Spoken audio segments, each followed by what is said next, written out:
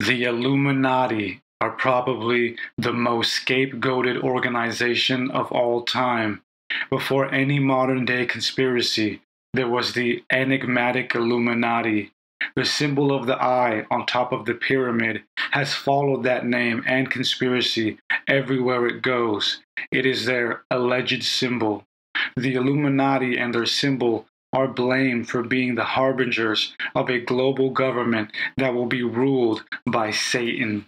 The idea of an elite group being illuminated or enlightened to mysterious knowledge that the rest of the world is undeserving of is enticing to the upper echelons of pop culture.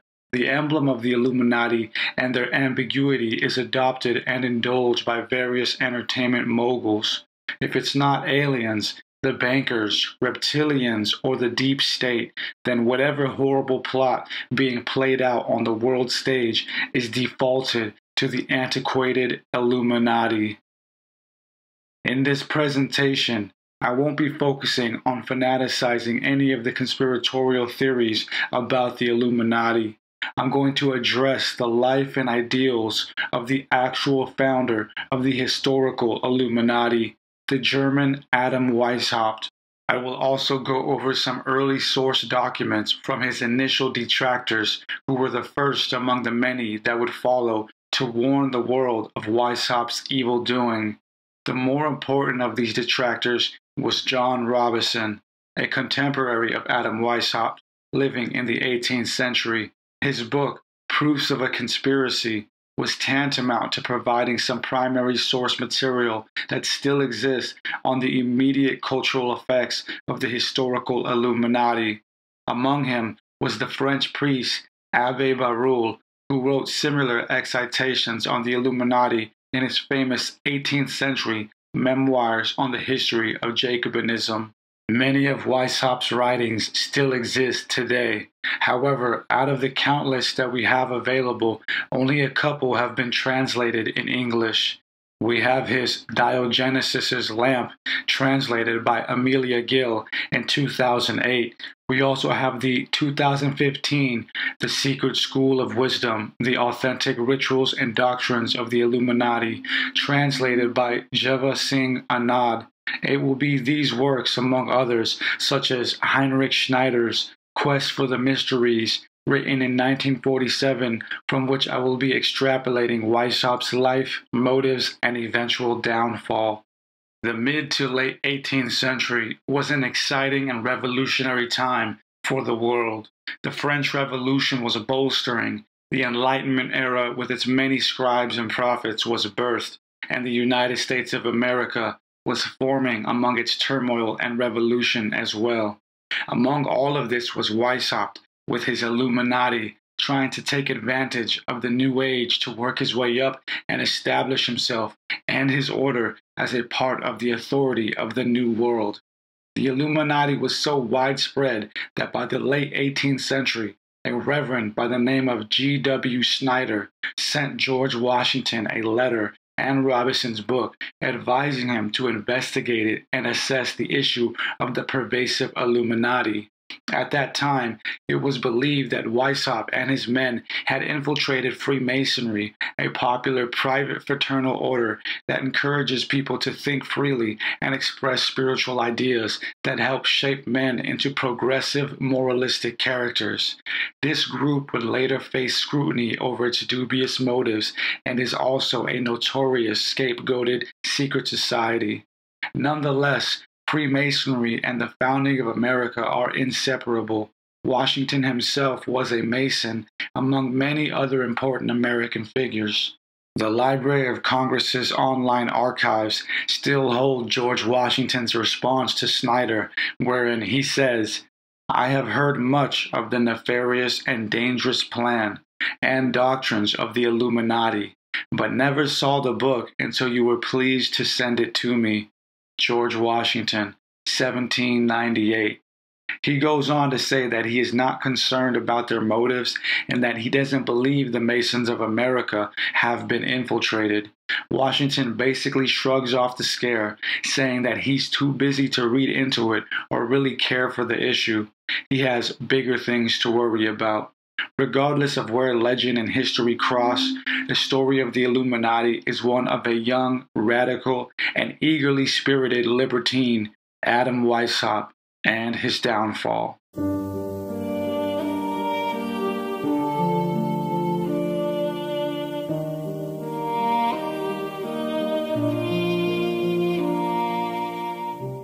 Adam Weishaupt was born on February 6, 1748, in Ingolstadt, Germany.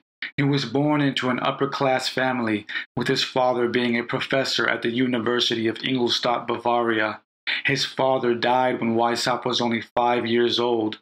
This tragedy left him in the care of his grandfather, Johann Adam von Ickstatt, who, like his father, was a professor of law at the university. Ickstatt was an advocate of the philosophy of Christian Wolff and of the Enlightenment. He influenced the young Weishaupt with his progressive ideals of rationalism.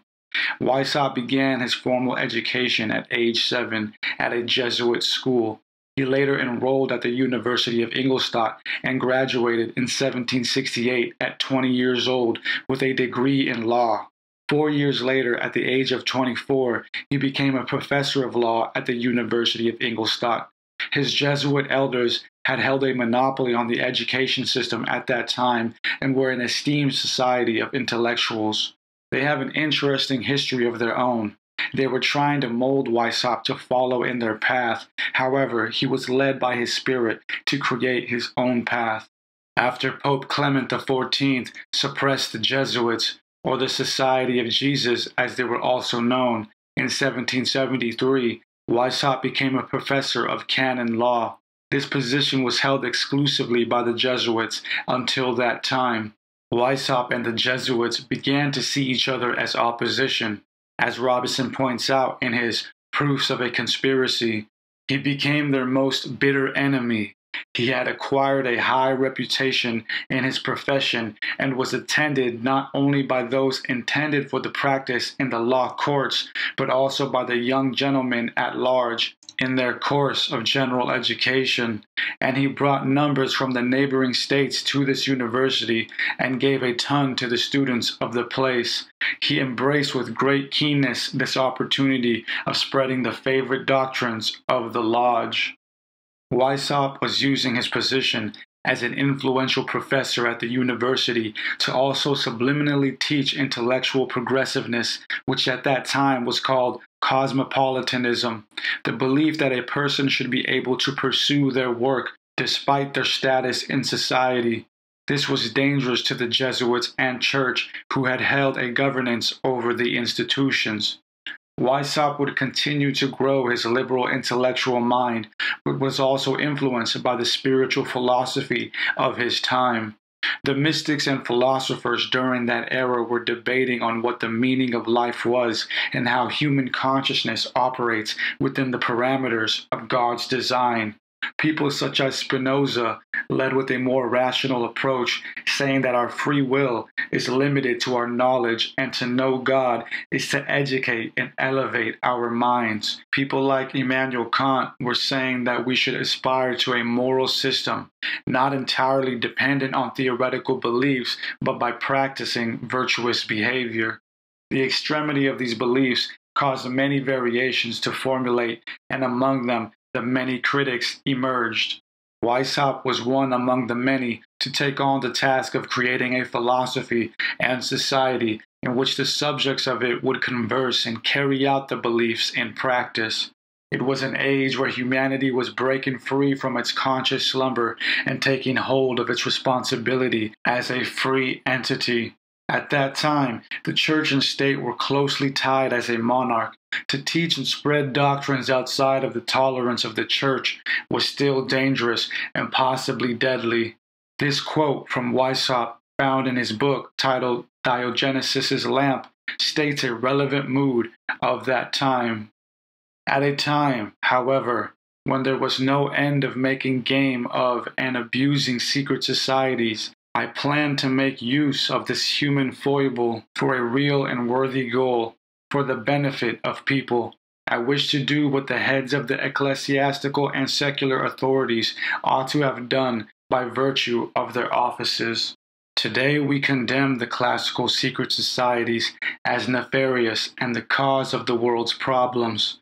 However, in Weishaupt's day, they were outlets like rogue online forums of today, where like minded people could get together and conspire against the authorities of the time, whom they felt were not representing their best interests. Within the lodges of mysticism arose the enigmatic leaders of these forums. Intellectuals of all type were joining various Masonic lodges to use as a platform to discuss progressive ideals in secrecy without the condemnation of the church and state. Among the many lodges, Weishaupt found himself in the Lodge of Theodore in Munich, Bavaria. Within these circles, Weishaupt's voice grew and he became influential in leading some of the young Masons towards a new society. Weishaupt's secret society was called the Covenant of Perfectibility, and they called themselves the Perfectibilists. It wasn't until 1788 that they would change their name to the Illuminaten Orden, or Order of Illuminati. The order was named after the illumination one might experience in realizing the truth about religious mysteries, which the order centered itself around. This term, Illuminati, would later be used as a derogatory title to condemn their anti establishment views. It was initially founded on May 1, 1776. The mission of the Perfectibilist or Illuminati was to replace the rigid Christian monarchical rule over society and free it into a new world ruled by logic and reason. Schneider's quest for the mysteries demonstrates the tension between the authorities and free thinkers by stating, in Germany, it was unavoidable that the existing gulf between the nobility and the awakening common people should soon reassert itself, even though in a secret society it might be bridged for a time. The strongest modifying influence, however, proceeded from peculiar conditions in church and religion, not only from the sharp division and rivalry of the established churches, but also from currents and movements often teeming with magical, theosophical, and mystical notions. Thus, within this crucial age, there were birthing pains as new philosophical dogma was separating itself from the old world of religious obedience Although Freemasonry forbade its lodges to speak on religion and politics, Weishaupt took advantage of the meetings to reach out to the vulnerable and intrigued to lead them towards his radical ideas. According to some legends circled around the post Illuminati years, Weishaupt learned much of what he knew about the ancient mysteries by a mystic named Franz Kolmer. This Kolmer supposedly traveled through Egypt and other sacred places to learn the native mysteries of those lands. When returning to Germany, he met with Weishaupt and taught him the many secrets of the mind and metaphysics that he learned abroad. The legend seemingly started with French Jesuit priest Augustin Barruel. It was later postulated by other writers such as Jean Canteleu and Nesta H. Webster that this Franz Kolmer was the master of notorious 18th century occultist Cagliostro. Kolmer has been associated with the mysterious name Althotas. French occultist Eliphas Levi theorized that the name Althotas derived from the name Thoth. Levi noticed that the syllables al and as in the name Althotas could be decoded as Sala, meaning messenger within the Kabbalistic code. The hidden meaning of the name was then Thoth, messenger of the Egyptians. The Egyptian god Thoth has been associated with Hermes Trismegistus, another legendary figure who dispersed sacred knowledge then mysteriously disappeared. Whether this is all true or not, what is apparent is that Weishaupt was an avid reader of ancient history. The early Illuminati was designed using similar formatting as Masonry the Jesuit order, and other mystery societies. Weishaupt's order had three grades of membership the novice, Minerval, and the illuminated Minerval. The group had the owl of Athena as their symbol. Contrary to popular belief, they never openly used the singular eye within the pyramid as their symbol. This was a sacred symbol used in Christian art around that time, which was adopted by Freemasonry. It would be the later demonization of the Illuminati and Freemasonry that would couple this symbol with the generic Illuminati. Weishaupt focused on recruiting the wealthy and intellectual, using them to climb his way up as a renowned leader. Each member was given a nickname. Weishaupt's was Spartacus. Weishaupt quickly gained respect and camaraderie from two men who would prove to be prominent players in the Illuminati's growth. These two were a lawyer known as Zwack and a well to do writer and mystic, Baron von Knigge. It would be Knigge who would take it upon himself to help further design the order and refine its degrees, codes, and constitution. The refined degrees continued upward, where only the few percent within the Illuminati were fully aware of the goals. There were three major degrees the nursery, masonry, and then the mysteries, each category having its divisions. Knigge was an accomplished Mason who completed every degree. He published three volumes of sermons based on Masonic Christianity and a system of religion. He viewed Christianity as being allegorical to deeper mysteries.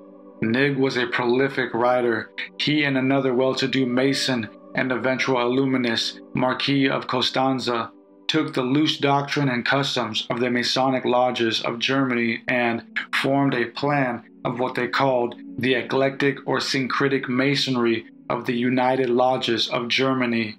They composed a constitution, ritual, and catechism which has merit and is indeed the completest body of Freemasonry that we have. Among these two were many important figures. One of the more potent conspirators to join the Illuminati was a man named Nicolai. Robinson explains that Nicolai ran a popular German publishing press and was also a writer as well. He gave book reviews which were highly merited by the community. He was biased in his reviews, mainly praising and recommending liberal works and criticizing opposing views which held a more conservative attitude. He stirred up gossip and would generalize his competition as Jesuits, a sort of tagline used to discredit someone with a conservative and authoritarian viewpoint. The Jesuits were a disgraced and outlawed secret society that were given the same critique then that we give to the Illuminati now. Weishaupt, although he grew up around Jesuits, despised them and was at odds with them, contending for ideological supremacy. Nicolai had several printing presses throughout Europe, a wide influence through his book reviews and recommendations.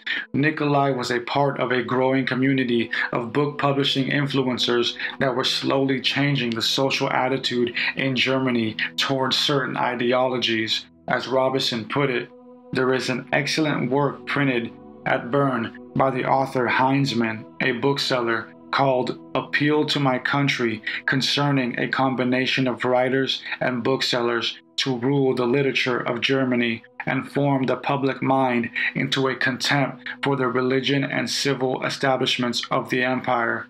It contains a historical account of the publications in every branch of literature for about 30 years.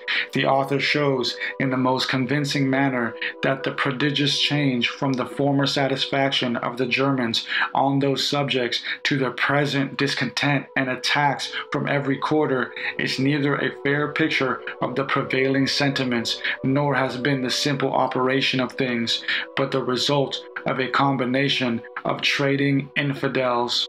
Nicolai and his colleagues were powerful enough to incite hatred towards religion and the monarchs. They were a dangerous group. Nicolai was later favored by the Illuminati and joined them in their endeavors to print works of Illuminism to be read abroad, as well as writing detracting pieces on their competitors, the Jesuits and the Rosicrucian, convicting them of societal insurrection and spiritual ignorance. Much of what we now know about Weishaupt and the Illuminati's doctrines came from letters found after raids were conducted by the authorities in Zwack's home. It appears that the organization had a front of liberalism, preaching free thought and subjective morality, reaching towards a universal spiritualism However, once the initiate moves higher in the order, they were to be desensitized to atheism and a sort of communism in which riches and individuality were to be extracted towards the higher interests of the goal or its leaders, as is presented in a letter from Weishaupt to Zwack in Robinson's book Proofs of a Conspiracy. We must be particularly careful about the books which we recommend. I shall confine them at first to moralist and reasoning historians. This will prepare them for a patient reception in the higher classes of works of a bolder flight, only fit for the strongest stomachs. We see here that Weishaupt wanted to incrementally prepare his subjects for a radical change in beliefs.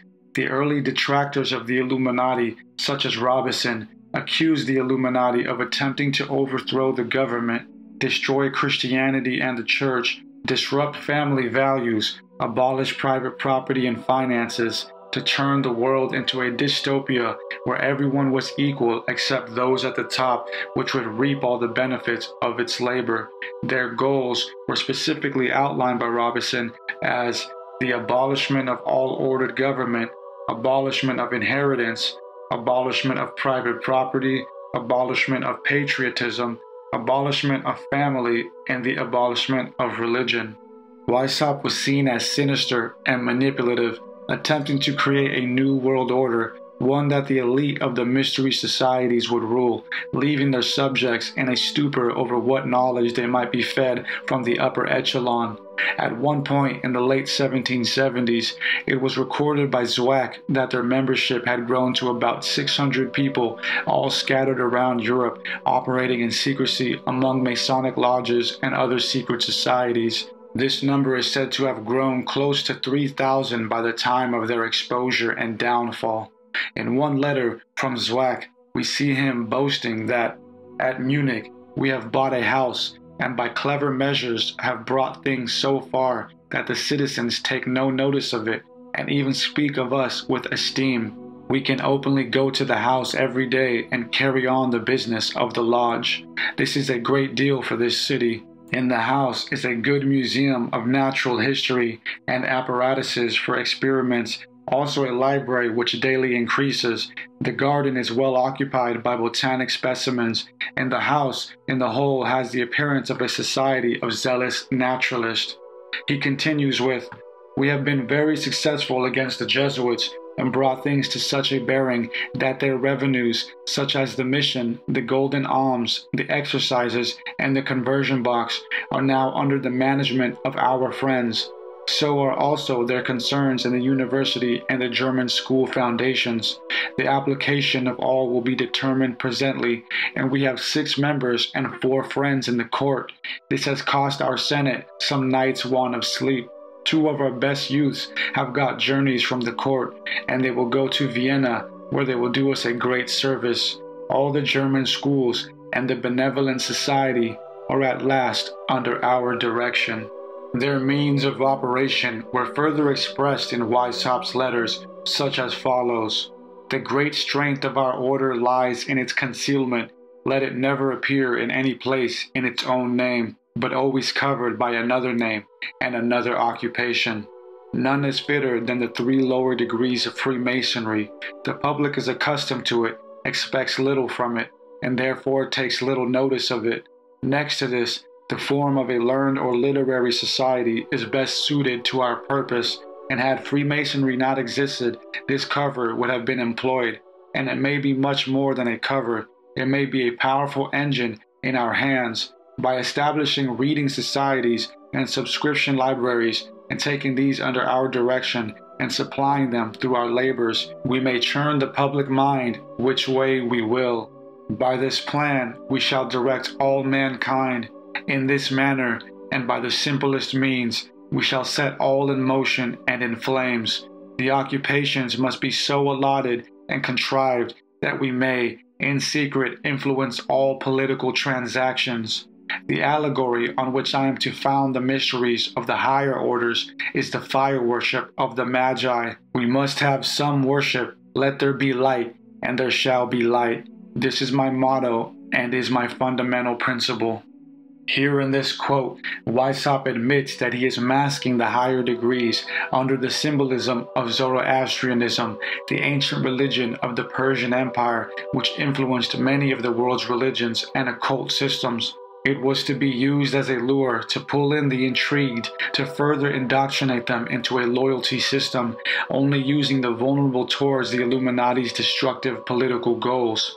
This is further expressed in a letter titled Spartacus to Cato, February 6, 1778. I shall therefore press the cultivation of science, especially such sciences as may have an influence on our reception in the world and may serve to remove obstacles out of the way. Statesmen, and above all, princes and priests, are in our way. Men are unfit as they are and must be formed. Each class must be the school of trial for the next. This will be tedious because it is hazardous. In the last classes, I propose academies under the direction of the order. Science shall here be the lure.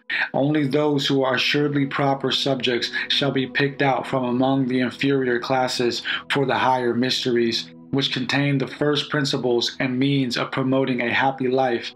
No religionist must, on any account, be admitted into these, for here we work at the discovery and eradication of superstition and prejudices.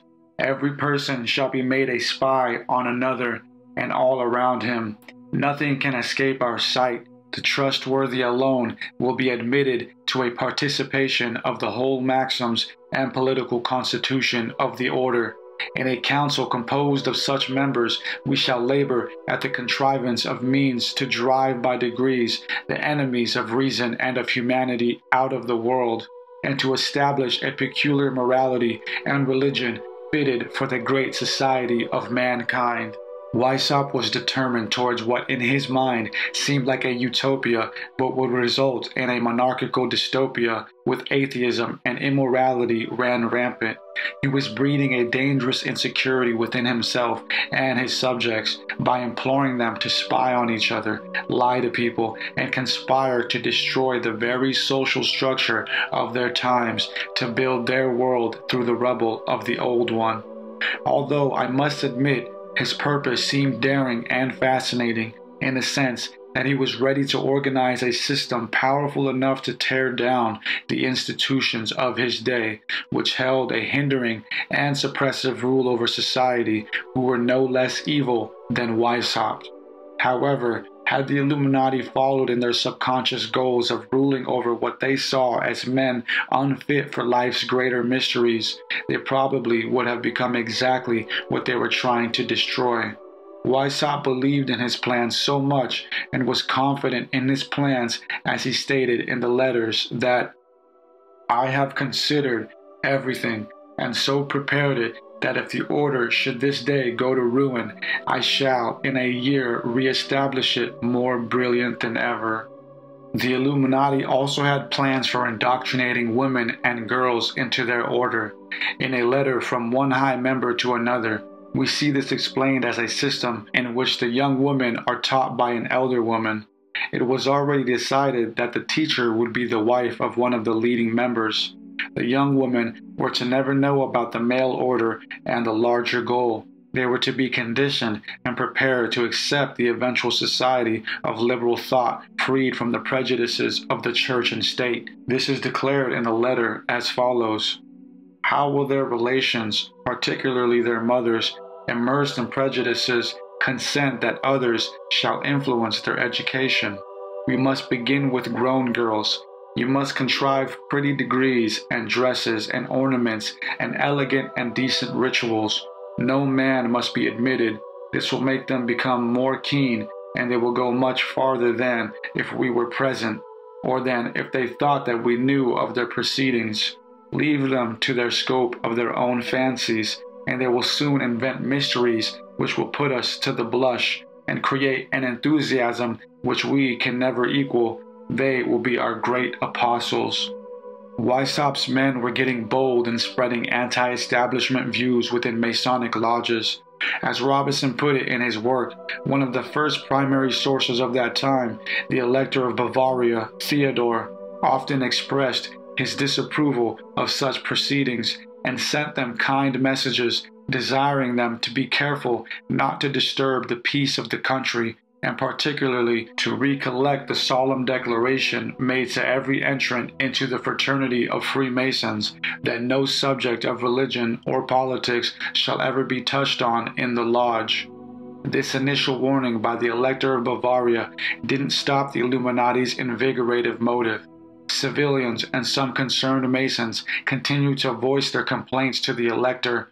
After this second wave of concerns, Robison tells us, the Elector ordered a judicial inquiry into the proceedings of the Lodge of Theodore. It was then discovered that this and several associated lodges were the nursery or preparation school for another order of Masons who called themselves the Illuminated, and that the express aim of this order was to abolish Christianity and overturn all civil government. But the result of the inquiry was very imperfect and unsatisfactory, no Illuminati were to be found. They were unknown in the lodge. Some of the members occasionally heard of certain candidates for illumination called Minervals, who were sometimes seen among them, but whether these had been admitted or who received them was known only to themselves. This unsatisfactory investigation gave the Illuminati more time to develop. However, the complaints did not stop, so due to civil unrest, Theodore was forced to place a ban on secret societies and Freemasonry in 1784. This ban wasn't strictly observed by all Masons, and some, including those of the Theodore branch, protested the ban. More rumors were being spread, and people were becoming upset at the Illuminati's infiltration among them. Four professors from the nearby Mariannan Academy admitted to the elector that they had joined the Illuminati and revealed its detestable plans. Among them were the already mentioned disgust for Christianity, private property, theological ruling of society, and individual prosperity. According to the professors, they wanted to create a dystopia where the individual serves the system through a promising of equal rights and rewarding of enlightenment. The Illuminati was a cult, to say the least. Aside from what was said about the Illuminati, later, after Weishaupt was banned, as I'll get into, he wrote in his defense that he was merely trying to set up a system to explain the great mysteries of Freemasonry and mystical Christianity, which he felt the West had lost. He was frustrated with Freemasonry, Rosicrucianism, and the Kabbalah, saying of them that they are all sadly deficient because they leave us under their dominion of political and religious prejudice, and they are as insufficient as the sleepy dose of an ordinary sermon. He claimed to have the real secret to spiritual matters and ascension, as he penned in his defense. But I have contrived an explanation which has every advantage, is inviting to the Christians of every communion, gradually frees them from all religious prejudices cultivates the social virtues and animates them by a great and feasible and speedy prospect of universal happiness in a state of liberty and moral equality, freed from the obstacles which subordination, rank, and riches continually throw in our way. My explanation is accurate and complete. My means are effectual and irresistible. Our secret association works in a way that nothing can withstand, and man shall soon be free and happy. Here again, we see Weishaupt fronting about wanting to create a free and equal society where man will be happy. However, as is shown through their more devious writings, through the correspondent letters among him and his close partners, they were to use the guise of mystical religion to lure in the initiates to use as loyal servants or patsies towards their political goals. As the tension furthered within the towns, the elector issued a search within Zwack's home. Zwack was a lawyer and court judge, one of Weishaupt's right hand men. It was within this search, during 1786, that the sinister means of the Illuminati came to light after finding letters between the higher members. Among the letters were found the details of the higher degrees and its secret constitution. The group wasn't always harmonious in its ideals and actions. Weishaupt seemed to be blinded by his position and goal, whereas others, such as the Baron von Knigge, the most prominent figure of the Illuminati aside from Weishaupt, felt at odds with Weishaupt's overall attitude towards the goal. In a letter to Zwack, Knigge explained that he wanted the Illuminati to rid society of its religious prejudice and free the minds of the people from indoctrination so that they can make their own decisions as a community, saying, We must not throw away the good with the bad, the child with the dirty water, but we must make the secret doctrines of Christianity be received as the secrets of genuine Freemasonry. But farther, we have to deal with the despotism of princes. This increases every day. But then, the spirit of freedom breathes and sighs in every corner, and by the assistance of hidden schools of wisdom, liberty, and equality, the natural and imprescriptible rights of man shall be gained. Jesus Christ established no new religion. He would only set religion and reason in their ancient rights for this purpose, he would unite men in a common bond. He would fit them for this by spreading a just morality, by enlightening the understanding, and by assisting the mind to shake off all prejudices. He would teach all men, in the first place, to govern themselves. Rulers would then be needless. Knigge was excited to see an age where church and state were not tied and where people would freely learn and teach what they wished. Robison says of Knigge that Knigge was, next to Weishaupt, the most serviceable man in the order and procured the greatest number of members. He traveled like a philosopher from city to city, from lodge to lodge, and even from house to house before his illumination, trying to unite the Masons and he now went over the same ground to extend the eclectic system and to get the lodges put under the direction of the Illuminati. He was by no means void of religious impressions, and we often find him offended with the atheism of Weishaupt after laboring four years with great zeal, he was provoked with the disingenuous tricks of Spartacus or Weishaupt, and he broke off all connection with the society in 1784, and some time after published a declaration of all that he had done within it.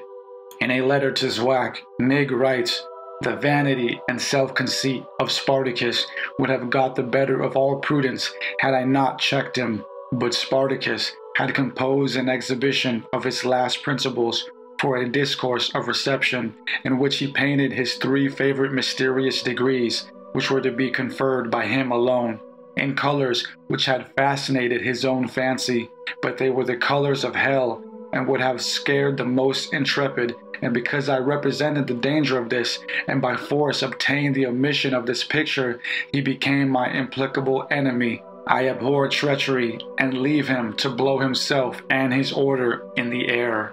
Weishaupt was losing ground and soon came across another conflict which to him was of utmost inconvenience. It was revealed in a couple letters that Weishaupt had incidentally gotten Zwack's sister pregnant.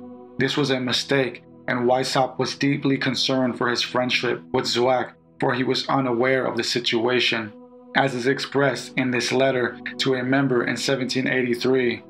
I am now in the most embarrassing situation.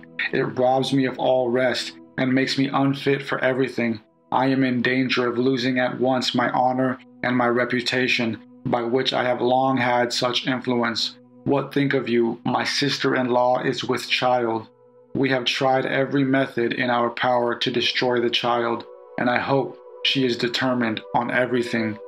Here the letter breaks up and Robison speculates that Weishaupt was considering that the woman kill herself if they couldn't produce an effective abortion. It is concluded that she was already four months pregnant at the time of the letter. Weishaupt was so distraught with the pregnancy because if they couldn't kill the fetus, they would have to get married, which to him would be a disgrace. At that time, sex, out of wedlock children, and abortions were all very taboo customs and nonetheless he felt as if his reputation would be hindered along with his responsibilities to the order. He further expresses his distress to his friend as follows Could you but help me out of this distress, you would give me life, honor, and peace, and strength to work again in the great cause. If you cannot, be assured I will venture on the most desperate stroke until it is fixed. I will not lose my honor I cannot conceive what devil has made me go astray.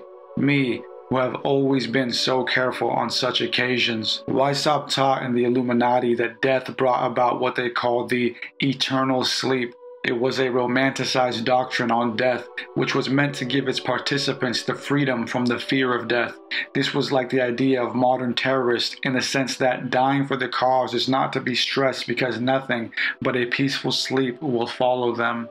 Weishaupt attempted to persuade the girl into a subtle suicide at a home of a member, Baron Bassus, but she was frightened last minute, and Robison puts it that she left the house and in the hidden city of a midwife and nurse brought forth a young Spartacus who now lives to thank his father for his endeavors to murder him.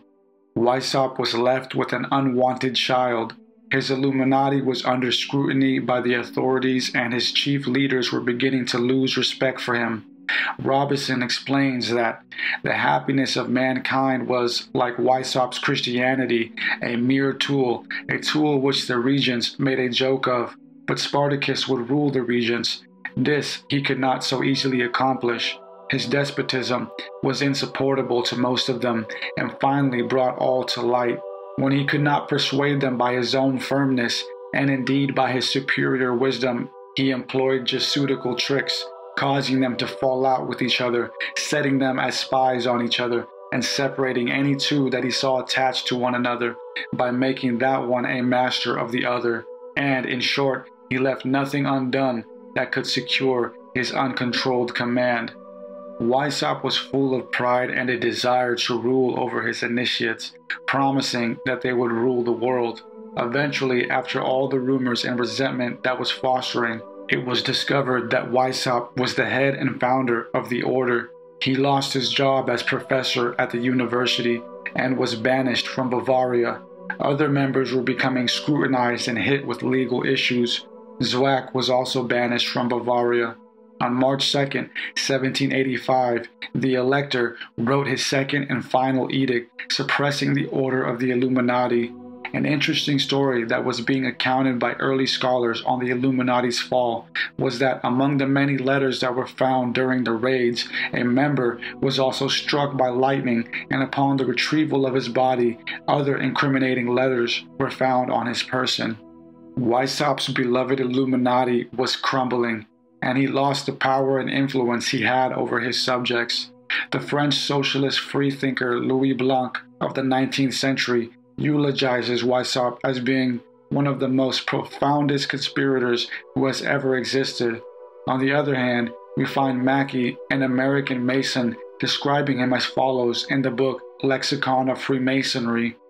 Weishaupt was a radical in politics and an infidel in religion, and he organized this association not more for the purpose of aggrandizing himself than of overturning Christianity and the institutions of society. Weishaupt was received by his friend, the Duke of Saxe-Gotha, who gave him a pension and a position within the local institution as a philosophy professor. Adam wrote a series of works perfecting the Illuminati's ideologies. Some of them are a complete history of the persecutions of the Illuminati in Bavaria, 1785, an apology for the Illuminati, 1786, a picture of Illuminism, 1786, and An Improved System of Illuminism, 1787. To defend himself, Adam wrote an apologist work titled A Brief Justification of My Intentions. In his old age, he attempted to rebrand himself and explain what his humanitarian goals really were. It is difficult to find any English translation of Weishaupt's later works. However, a Dr. Tony Page translated and commented on his An Apology for the Illuminati Page states that Weishaupt's plan was to educate Illuminati followers in the highest levels of humanity and morality, so that if Illuminati alumni subsequently attained positions of significance and power, they could exert a benevolent and uplifting influence upon society at large. His project was utopian and naively optimistic, and he himself was certainly not without flaws of character but neither he nor his plan was evil or violent in and of themselves. It is one of the deplorable and tragic ironies of history that a man who tried to inculcate virtue, philanthropy, social justice, and morality has become one of the great hate figures of the 21st century conspiracy thinking. He lived into his 80s and died a disgraced mystic on November 18, 1830, in Gotha, Germany. One of his last statements was that the tenor of my life has been the opposite of everything that is vile and no man can lay any such thing to my charge. His influence has permeated up to today in various ways. The age in which he lived was an exciting one, with a new era of mankind being born, marching through the chaos and binding of the past. Of Weishaupt, the American president Thomas Jefferson exclaimed in a letter titled From Thomas Jefferson to Bishop James Madison on the 31st of January, 1800 that as Weishaupt lived under the tyranny of a despot and priest, he knew that caution was necessary even in spreading information and the principles of pure morality. This has given an air of mystery to his views and was the foundation of his banishment. If Weishaupt had written here, where no secrecy is necessary in our endeavors to render men wise and virtuous, he would not have thought of any secret machinery for that purpose. Although Weishaupt lived out his days in exile, continuing to write and lead a humble life in Gotha as a philosopher and pensioned teacher, some suggest that he still influenced some radical world events that were to take place after the Illuminati's downfall. Early detractors such as Robison and Barruel claimed that the Illuminati's dispersed members within the wide network across Europe continued the work, infiltrating French Freemasonry. It was Robison and Barruel's suspicion that the Illuminati or its retired members and their ideals instigated the French Revolution, which brought about the end of its monarchy and the rise of a new age. This was primarily achieved, as it is told, after the Duke of Orleans was initiated into the Illuminati by Mirabeau. Mirabeau is a highly regarded figure in French history during the revolutionary years. Many historians are divided when it comes to this character. Some see him as an honorable leader and some as a traitor. The Duke of Orleans was already the head of the Grand Orient of Freemasonry in France. He had instant access to all lodges in France, thus the ability to send out messages and plans to all Illuminists. He was also a noble, which meant he was protected and left unquestioned by the state. However, he was used by the Illuminati they played with his desire to be enlightened to mysteries and went along with their plan, which was to incite the revolution to topple the existing monarchy to install the Illuminati system. Mirabeau is remembered by mainstream historians as being a leader of the early revolution who was later disgraced by controversial political views. Robison and Frost, in his Secret Societies of the European Revolution, writing in the late 19th century, Remember him as a member of the Illuminati who was a deceitful man playing the Duke of Orleans for his financial support and political access. It worked, at least for some time. The Duke was the cousin of Louis XVI, the last king of France that was massacred during the Revolution. The conspiracy theorists of that time, like Barruel and others, believed that the Illuminati, primarily through Mirabeau, used the Duke to incite the Illuminists to revolt in false hopes that the Duke would succeed his cousin and rule the new order of an Illuminati France. The Duke was later executed by the Revolutionary Tribunal for his support of the French Revolution. What Weishaupt set off was too big for him and his life. Others also claim that this movement that Weishaupt initially started grew into a firm political ideology known as the World Revolutionary Movement. William Guy Carr, English born Canadian naval officer from the 20th century, wrote several books as a conspiracy theorist on the world revolutionary movement, demonstrating that through the Illuminati, a continued chain of ideology worked its way to communism. It was this social political doctrine which sought to destroy the social order of natural life. He and others believed that what started with Weishaupt would go on to become an ideology of manipulation that would start problems where there were none, to change the social narrative, to instigate the people then to destroy the social construct and rebuild it with a new norm. Those who were secretly guiding the plot would benefit somehow afterwards. This is also described as the Hegelian dialectic, wherein there is a thesis that is presented with an antithesis, and through a predetermined synthesis, a new construct is created to govern the subjects of both sides of the conflict. A problem is created, a predetermined solution is presented, all people agree to the solution, and a social change is made.